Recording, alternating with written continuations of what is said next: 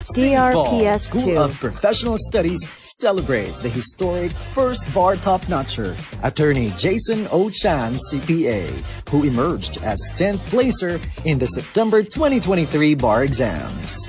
We also celebrate this year's passers in various licensure exams. SPSPS produced DRPS 15 2. lawyers, 55 CPAs, 27 real estate appraisers, and 46 real estate brokers.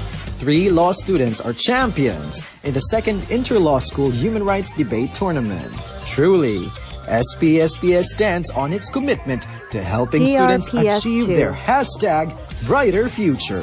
Sapientia et Servitium Gratia Dei.